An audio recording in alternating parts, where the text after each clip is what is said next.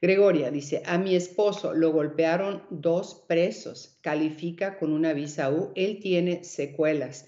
Eh, si hizo un reporte, claro que sí. Recuerden, para la visa U, no importa dónde esté él, si está preso o está en la calle o está en cualquiera de los 50 estados de la Unión Americana, pero el delito tiene que eh, ocurrir dentro de Estados Unidos y hay otros requisitos, son dos. Ser víctima de un crimen violento y el ser golpeado, claro que es un crimen violento, y dos, reportarlo a las autoridades y que haya un reporte de ese eh, delito para poder calificar para la visa U. Ahora hay que ver quién va a firmar la certificación, que es el primer paso de la visa U, para después ingresar la visa U.